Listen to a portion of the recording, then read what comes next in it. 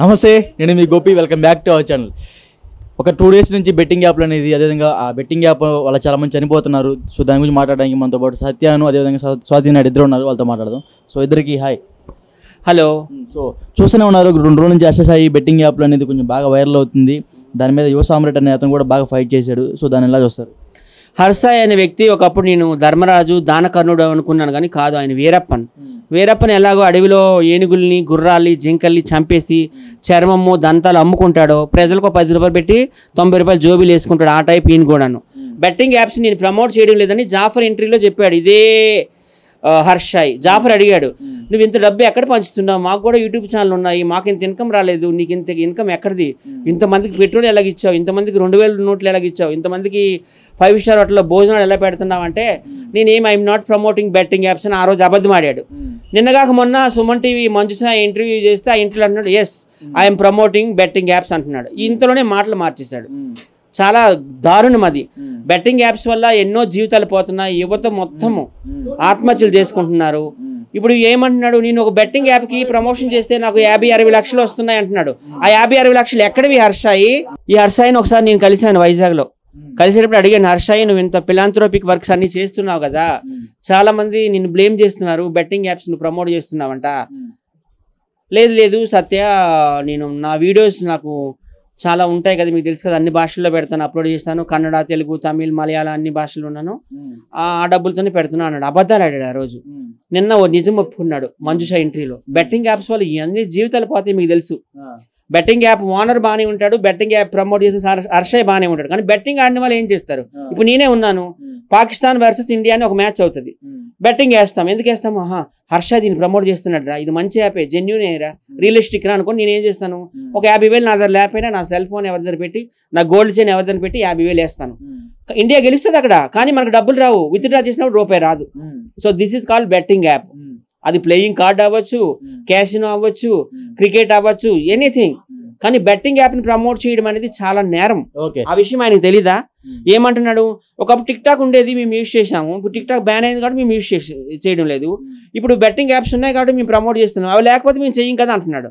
మరి ఇప్పుడు పేకాట జోదం అని తెలీదా నీకు? బ్రోతల్ హౌస్కి వెళ్ళడం అది కూడా ఒక ఇదని తెలీదా నీకు? మరి అక్కడ కూడా వెళ్ళిపో మరి. ఇండియా ప్రతి ఒక్కదాన్ని బ్యాన్ చేయలేదు కదా? అది నేను చెప్తున్నాను. నిజంగా ఈ హర్ష అనే వ్యక్తిని ఎవరు నమ్మకండి. ఆయన చాలా సెల్ఫిష్ పర్సన్ అర్థమవుతుందా? ఒక చిన్న ఏదో చెప్దాం అనుకుంటున్నా. ఓకే గుర్తొచ్చింది. ఈ హర్ష వెనకాల హండ్రెడ్ మెంబర్స్ టీం ఉంటారు. కానీ వాళ్ళు ఎవరు ఫేస్ చూపించడు ఎందుకంటే ఆయనే ఫేమస్ అయిపోవాలి. ఆయనే సినిమాల్లో హీరో అయిపోవాలి. ఆయనే ఎటుకైనా బ్రాండ్ అంబాసిడర్ అయిపోయారు గవర్నమెంట్ కార్యక్రమాలకు ఏమైనా. ఈ మధ్య ఏదో వచ్చింది కదా? దిశ. అంటే physically challenged and mentally challenged వాళ్ళకి బ్రాండ్ బ్రాండ్ అంబాసిడర్ ఏం నీ వెనకాల ఉండి వాళ్ళకి ఎందుకు మాస్క్ మోస్తున్నావు? అంటే వాళ్ళు ఫేమస్ అవ్వకూడదా? లేకపోతే నీ బొక్కలన్నీ బయట చెప్పేస్తారని భయమా? ఇప్పుడు వాళ్ళు కనిపించారు అనుకో ఎక్కడైనా అడుగుతారా? "ఆహా, నువ్వు హర్షయ్ టీంలో ఉన్నావు కదా? అంటే హర్షయ్ కోసం చెప్పేస్తారన్నా? భయపడ్డావా? ఏంటి? రీజన్ ఏంటి? మాస్క్లు ఎందుకు పెట్టావు? నువ్వేమని పెద్ద సోను సూద్ అనుకుంటున్నావా? ధర్మరాజు అనుకుంటున్నావా? లేకపోతే ఒక దానకర్ణుడు అనుకుంటున్నావా? పెద్ద దొంగ అండి. నిజంగా నాకైతే మాత్రం ఐ హేట్ హర్షయ్. ఆయన మీద ఖచ్చితంగా యాక్షన్ తీసుకోవాలి. ఆయన అయితే అరెస్ట్ చేయాలి. ఎందుకంటే ఎంతమంది యువత అండి నా కళ్ళ ముందే ఎంతో మంది చనిపోయారు ఇలా బెట్టింగ్ యాప్స్ చేసి. తెలుసా? ఇప్పుడు స్వాతి నాయుడుతో మాట్లాడదాం బెట్టింగ్ యాప్స్ గురించి. సో మీరు చెప్పండి. ఆ, నిజమేనండి సత్య చెప్పినట్టుగానే. ఇప్పుడు ఆయననే కాదు ఇంకా చాలా మంది కొంతమంది కూడా యూట్యూబ్ ఇన్ఫ్లుయెన్సెస్ కానీ ఇలాగా అంటే ఇప్పుడు ఏదైనా ఒక ప్రోడక్ట్ గురించి వాళ్ళు చెప్తారు ఆ ప్రోడక్ట్లో నిజంగా నిజం లేకపోయినా యూస్ చేసిన వాళ్ళు డబ్బులు వేస్ట్ అవుతుంది కానీ ఈ బెట్టింగ్ యాప్స్ వాళ్ళు ఏంటంటే చాలా మంది వాళ్ళ లైఫ్స్ని కూడా కోల్పోతున్నారు. మనం టీవీ న్యూస్ ఛానల్స్లో కూడా చూస్తున్నాం.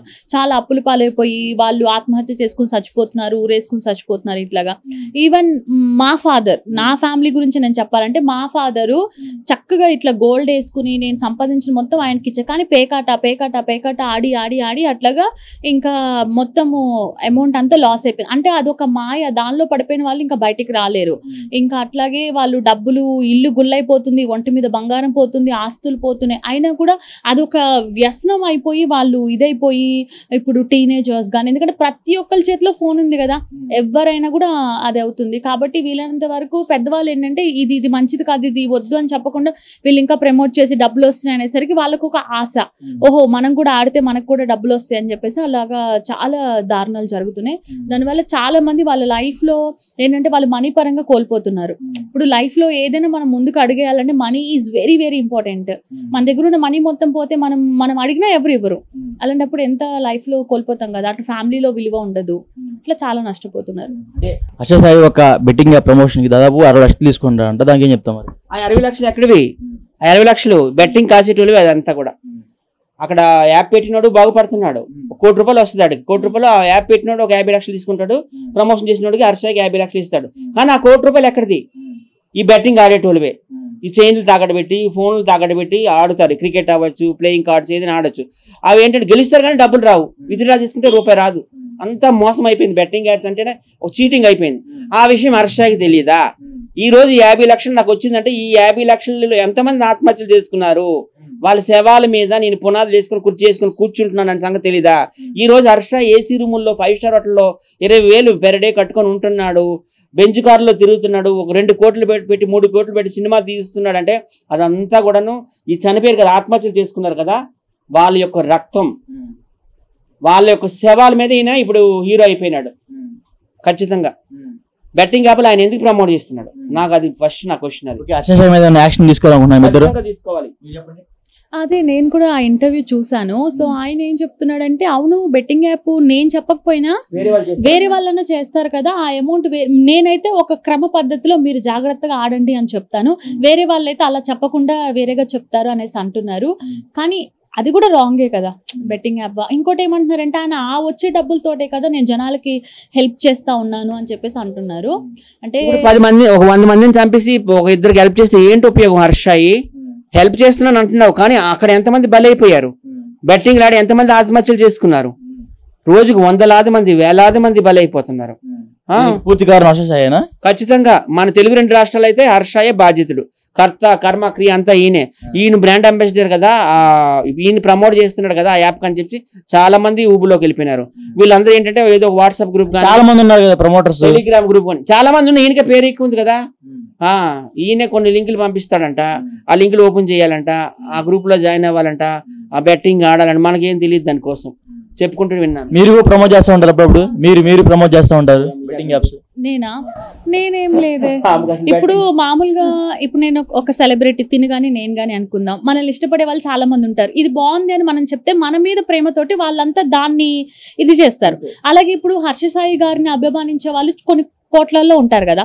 సో ఈయన ఈ బెట్టింగ్ యాప్ గురించి చెప్పినప్పుడు ఏంటంటే ఈయన పైన నమ్మకంతో. అంటే ఈయన చెప్పాడు కదా సో ఇది మంచిది దీనిలోకి నేను సేఫ్గా వెళ్ళొచ్చు అని ఆయన మాట మీద చాలా మంది అలా ఆడడము తర్వాత అది ఫేక్ అవడము దానివల్ల వాళ్ళు మనీ లాస్ అవడం అంటే ఆయన పైన ఉన్న అభిమానంతో ఆయన అభిమానించే వాళ్ళు ఆయన సబ్స్క్రైబ్ చేసుకున్న వాళ్ళు వాళ్ళందరూ కూడా ఆయన కోసం అలా చేస్తారు. ఇప్పుడు మిమ్మల్ని ఇష్టపడే వాళ్ళు ఉన్నారు మీరు ఇది అంటే వాళ్ళు మీ మాట వింటారు కదా అట్లా. అలా చాలా మంది నష్టపోతున్నారు. నేను ఒక విషయం హర్షాకి చెప్పాలనుకుంటున్నాను. హర్షాయి నిజంగా నువ్వు దాన కర్ణుడివే అయితే ధర్మరాజువే అయితే నేను చదువుకున్నా నేను ఎంబీఏ చేసిన అందరికి తెలుసు హోటల్ మేనేజ్మెంట్లో.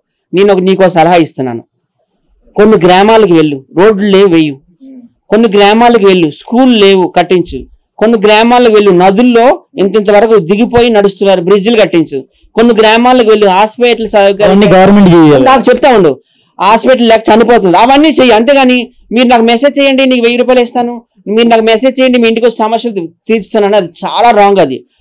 అవన్నీ చేయాల్సిన గవర్నమెంట్ కదా. పుచ్చకాలు చేస్తున్నావు. గవర్నమెంట్ అన్ని చేయలేదండి. India is a poor country ప్రతి ఒక్క ఊరికి వెళ్ళి రోడ్లు వేసేయలేదు మరి అప్పుడు లోడ్లు అన్ని ఊర్లకి వేయమలేదు నేను. కొన్ని ఊర్లకు వెళ్ళి ఈ రోడ్లు. కొన్ని ఊర్లకు వెళ్ళి బ్రిడ్జ్లు కట్టు నదుల మీద. ప్రభుత్వం విషయం మీరు చెప్పేది. అప్పుడు జనాలు నీ దగ్గరికి రారు. త్రూ గవర్నమెంట్ ద్వారా అంటే త్రూ చంద్రబాబు నాయుడు త్రూ పవన్ కళ్యాణ్ వెళ్ళి ఇలాంటి మంచి కార్యక్రమాలు చేయి. అంతేగాని డైరెక్ట్గా జనాలకి మీ- మీ ఇంటికే వస్తాను మీ ఇంటికి తీస్తాను అనుకు. పది మందికి ఉపయోగపడే పని చేయమంటున్నాను నేను. ఇండివిజువల్గా కాదు అందరికి ఉపయోగపడే పని. ఏమో మనం చెప్పింది కరెక్టే కదా? అది అందరికి యూజ్ అవుతుంది. ఇప్పుడు నువ్వేమంటున్నావు ఇప్పుడు అంతవరకు ఎందుకు? ఇప్పుడు వరలక్ష్మి అని ఒక ఆమె ఉంది యూట్యూబర్. ఆమె ఫ్రెండ్ అట ఎవరో ఏం పేరు? ప్రమీల ఎవరంట. ఒకడు ఎవడో ఫోన్ చేశాడంట. ఫోన్ చేస్తే "ఆహా, ఎవడో కాదు ఈమె ఫోన్ చేసిందంట. నేను హర్ష దగ్గర ఉంటాను మేనేజర్ అన్నాడంట. అయితే హర్ష నీకు ఎంత కావాలమ్మంటే పదిహేను లక్షలు కావాలి మా పాప పెళ్ళికి అనేసి ఈమె అనిందంట ప్రమీల. వరలక్ష్మి అంటే తెలుసు కదా ఏంటంటారా ఏం స్టార్ ఆమె? లక్ష్మి స్టార్ లోకల్ పిల్ల. వాళ్ళ ఫ్రెండ్ ప్రమీల. అట హర్షయ్ ఫ్రెండ్ అని ఎవడో ఎలాగో మరి ఈ ఆమె చేసిందో ఆమె ఏం చేసిందో తెలియదు పదిహేను లక్షలు కావాలంటే మా పాప పెళ్ళికి అన్నాడట. అయితే పదిహేను లక్షలు వేస్తాం కదమ్మా దానికి ఏంటంటే జిఎస్టీ ఉంటుంది ఆ జిఎస్టీ మేము కట్టము మీరే కట్టదు అన్నారట. జిఎస్టీ ఎంత అవుతుందంటే ఎనభై వేలు అని చెప్పారట. వీళ్ళు ఏం చేశారు? నిజంగా అనుకున్నారు వీళ్ళు ఏదంటే మీరు హర్షయ్య మనిషిని మాకు వాయిస్ పెట్టండి అంటే హలో నేను హర్ష షాయిని. మీ పాపకు పెళ్ళికి తప్పకుండా నేను హెల్ప్ చేస్తానని ఒక వాయిస్ వచ్చిందంట ఆయన దాంట్లో. మరి అది మిమిక్లో తెలియదు ఒరిజినల్లో తెలియదు వీళ్ళు నిజంగా నమ్మేసి తొంభై వేలు రూపాయలు ఇంట్లో ఉన్న బంగారాలు ఇంకా అన్ని పెట్టి తొంభై వేలు వేస్తారంట ఇప్పుడు ఆమె రోడ్డు మీద వచ్చి కూర్చోంది. ఇదంతా ఎందుకు అవుతుంది? హర్ష అందరికి హెల్ప్ చేయబట్టే కదా. నువ్వు దయచేసి హెల్ప్ చేయడం మానే నాయనా నువ్వు ఏదైనా ఉంటే గవర్నమెంట్ త్రూ చెయ్యి. పవన్ కళ్యాణ్ గారు ఉన్నారు. చంద్రబాబు నాయుడు గారు ఉన్నారు. నారా లోకేష్ గారు ఉన్నారు. బాలకృష్ణ గారు ఉన్నారు. సార్ ఇవ్వండి నేను ఈ పది లక్షలు పెడుతున్నాను. మీ ద్వారా మీరే రండి రిబ్బన్ కటింగ్కి ఇవ్వండి ఈ ఊర్లో రోడ్లు వేస్తున్నా ఈ ఊర్లో ఈ పిల్లలకి ఈ హాస్పిటల్ కట్టిస్తున్నా ఈ ఊర్లో వీళ్ళకి స్కూల్ కట్టిస్తున్నాని గవర్నమెంట్ ద్వారా ఇల్లు అంతేగాని నువ్వు ఇండివిజువల్గా ఫోన్ చేస్తే ఇప్పుడు బిచ్చకలు అయిపోతున్నారు నేను వైజాగ్ వెళ్ళి ఫోటో తీసుకున్న హర్షయ్యతో వీడియో తీసినా? ఓ నాకు వేలాది మంది మెసేజ్లు నన్ను హర్షయ్యని కలిపి నాకు యాభై వేలు కావాలి పది వేలు కావాలి అని దిస్ ఇస్ బ్యాడ్ సిస్టమ్ అండి. ఏదైనా ఉంటే గవర్నమెంట్ త్రూ చేయండి. పవన్ కళ్యాణ్ గారు ఉన్నారు. ఒక విషయం చెప్తాను. వరదలు వచ్చాయి మనకి కేరళలో. పవన్ కళ్యాణ్ గారు ఐదు కోట్లు పది కోట్లు ఇచ్చారు. అందరికంటే ఫస్ట్ ఆయనే ఇచ్చారు. ఆయన ఏమి అక్కడికి వెళ్ళి వాళ్ళకి వెళ్ళి పులిహోర పట్ల పంచలేదే? ఎక్కడికి వెళ్ళారు నరేంద్ర మోడీ దగ్గరికి వెళ్ళారు వెళ్ళి ఇవ్వండి ఈ పది కోట్లు. వాళ్ళు కేరళ వరద బాధలకు సాయం చేయండి అన్నారు. That is good job Pawan Kalyan గారిని ఇండివిజువల్గా వెళ్ళారంటే ఇంకా వాళ్ళ ఇంటి బంజారీసా జూబిలీసా ఇల్లు. మొత్తం వచ్చేస్తారు జనాలు. సార్ నాకు పులిహోర పొట్లం ఇవ్వండి నాకు ఒక డ్రెస్లు ఇవ్వండి నాకు ఒక చెప్పులు ఇవ్వండి అని. సో ఇండివిజువల్గా ఎప్పుడైనా ఇస్తే ఇదే డిస్టర్బెన్స్ అవుతుంది. త్రూ గవర్నమెంట్ వెళ్ళండి నేను చెప్తున్నా. ఒక ఎడ్యుకేటెడ్ పర్సన్ నేను చెప్పింది రైట్ అనిపిస్తుంది రాంగ్ అనిపిస్తుంది. రైట్ నేనే ఉన్నాను ఎవరికైనా ధర్మం చేయాలంటే నా మా ఇంటికి వచ్చి నన్ను డిస్టర్బ్ చేస్తారు. ఆ కొట్లాట్లు వాళ్ళు చచ్చిపోతారు. ఇప్పుడు చాలా మంది అలాగే చచ్చిపోతారు. హర్షయ్య కోసం రోడ్ల మీద తిరుగుతున్నారు బ్యానర్లు తీసుకొని హర్షయ్య గారు మమ్మ- మిమ్మల్ని కలుస్తామండి. చూసావా అవి? వార్క బీచ్లో. ఆయన ఏం చేస్తాడు? నీకు నీ దగ్గర ఎక్కువైతే వెళ్ళు. ఈయన ఉన్నారు పంచాయతీ రాజ్ శాఖ మంత్రి పవన్ కళ్యాణ్ గారు. లేకపోతే మన ఐటీ మినిస్టర్ ఉన్నారు హెచ్ఆర్డి మినిస్టర్ నారా లోకేష్. చంద్రబాబు నాయుడు వాళ్ళ దగ్గరికి వెళ్ళు.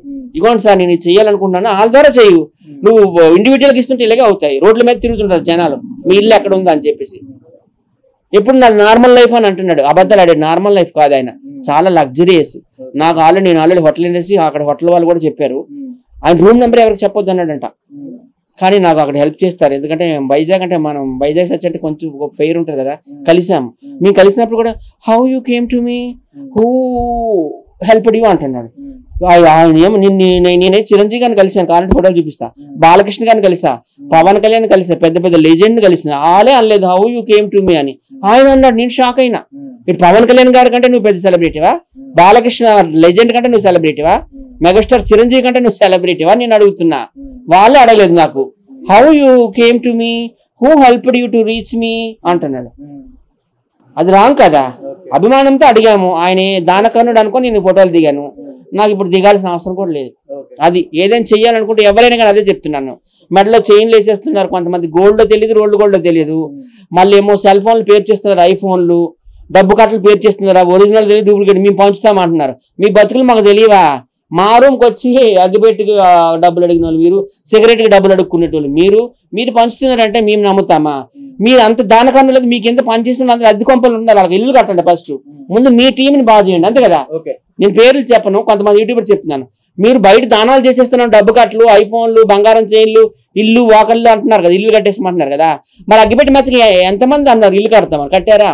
కుర్చీతో నేను తీసుకెళ్ళినప్పుడు ఎంతమంది కడుతున్నారు కట్టారా? ఉప్పుల పాలకి నేను తీసుకెళ్ళినప్పుడు ఐఫోన్లు ఇస్తున్నారు ఇచ్చారా? అంతవరకు ఎంత మాకు ఇవ్వద్దండి? మీకు ఎంత పని చేస్తారు కదా వర్కర్స్? మీ టీంకి ఇల్లు కట్టేయమండి. మీ టీంలు అద్దె కొంపల్లో